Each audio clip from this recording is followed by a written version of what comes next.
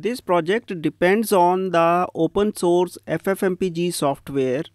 So this is just a primer small introduction to the FFmpeg and how to obtain it. So that is the objective of this tutorial and let's see how to obtain FFmpeg and get it working. You can start by searching FFmpeg in your search engine and click on this org link if everything goes right, you will be able to open this page ffmpeg.org and on this page you will get introduction to a big software. This is an open source software. This software is used by is an inspiration for most of the video converters, audio converters and most of the audio processing, video processing software that you find in the multimedia industry. We will be using a very small subset in which we will be extracting audio out of a video file. So in this case, your first step would be to click on this download. So when you click on this download, you will see download source code because this is an open source software you will get the source code also. But compiling the source code is a very tough task and requires a heavy expertise. So for this, they have provided us a few already compiled installations and we will be interested in this part.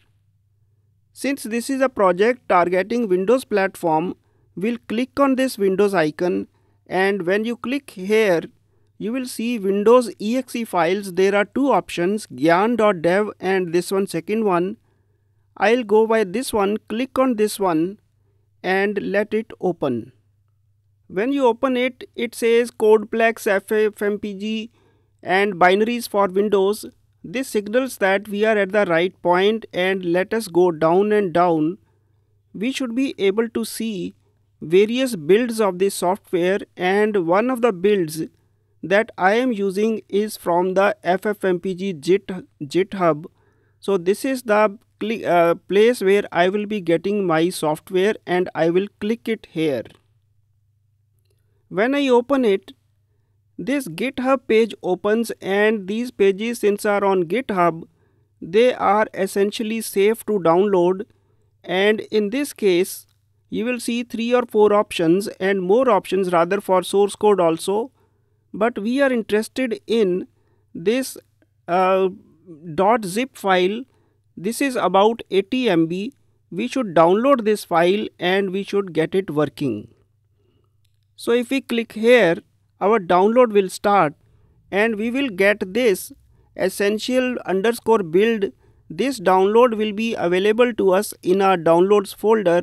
It will be something like this as you are seeing here and we can double click it to open it and go to the bin directory. You will see three software FFmpeg, Play and Probe. The software of our interest in this tutorial in this project would be FFmpeg. You should extract this FFmpeg to some safe place and from there we shall be using it in our next tutorials. This is how you can obtain FFmpeg and I'll close it right now. Thank you.